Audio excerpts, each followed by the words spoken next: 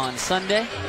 Loves playing in the state of Texas, the native Texan. Of course he does. Up and in for Kelan Martin. Look, though, you'll take it. Isaiah Reese was gearing up to pass that to Zeisloft before he even had the ball. He just felt that Zeisloft, Zeisloft was open. Ute Abedius. Off the glass, no good. Defended well by Webb. Scouting report defense there. Kelan Martin with the left. Comes in authoritative fashion. Kelan Martin with 11 now.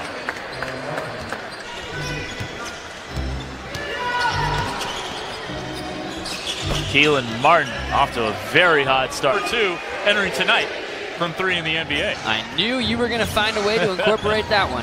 100% three-point shooter. Are you going to send that tweet every morning?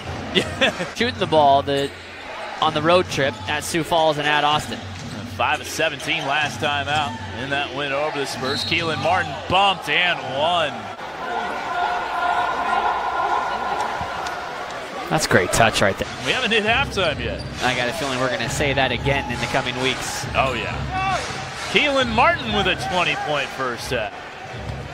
Zachary 5 7 from the stripe. Iowa 6 of 6. Missed free throw leads to a corner three, and Kelan Martin had nobody within 10 feet of him. Kelan Martin. Good handle. Drills. Oh, man. Three. I,